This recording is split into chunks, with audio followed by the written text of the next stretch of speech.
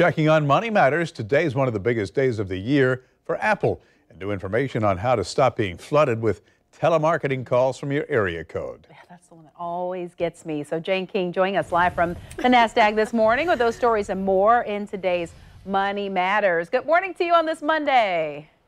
Uh, good morning, Bruce and Melanie. All right, so how about this one, Jane? You know, you get the call from the telemarketer. It's 904 area code. So you're like, oh, I must know this person. Nope, it's yeah. all trying to get you.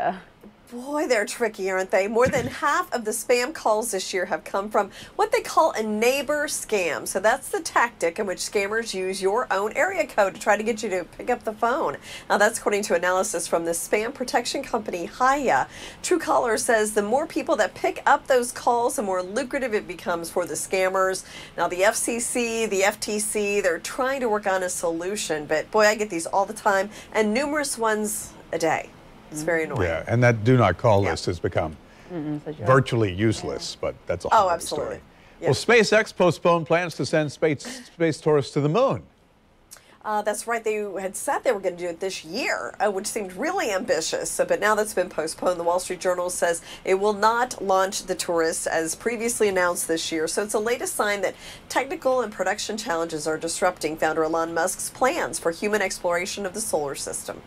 You know, um, Apple's Worldwide Development Conference is today. Usually a lot of big announcements, but it doesn't seem like anything too hot and heavy is going to be announced today. No, it's going to be, I think, a lot of software updates and things like that. Uh, the CEO, Tim Cook, will announce uh, the roadmap for the future of the company as well.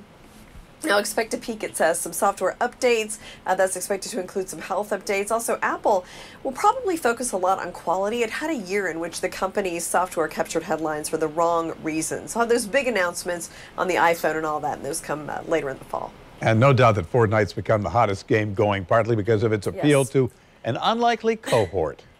Women are loving Fortnite. So many of its 45 million players participate on mobile devices, and among them, about half are women.